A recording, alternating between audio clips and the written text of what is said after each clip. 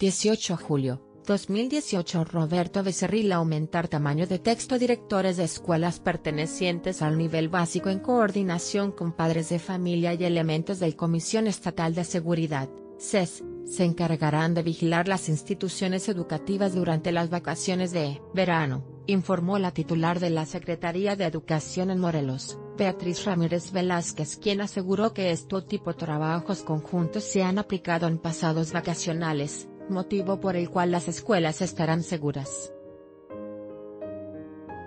Explicó que los antes mencionados mantendrán una comunicación estrecha para reportar a las autoridades por medio del número de emergencia 911 cualquier situación irregular detectada dentro o en los alrededores de las escuelas, esto con el fin de evitar los robos. Ramírez Velázquez indicó que la colaboración de los padres de familia es fundamental para evitar cualquier tipo de ilícito en contra de las escuelas, ya que al vivir algunos de ellos cerca del plantel pueden estar al pendiente sobre los acontecimientos diarios durante las vacaciones.